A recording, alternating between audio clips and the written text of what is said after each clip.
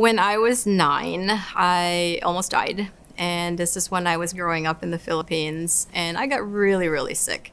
And it was about a three hour ride from our place to the hospital. Physicians there really couldn't understand why I was still conscious and why I was awake. But that experience led me to really, really consider medicine because they saved my life. Hi, my name is Dr. Melody Reynolds, and I'm an OBGYN here at Lehigh Valley Health Network. One of the most memorable moments of my career is having the honor of a baby named after me.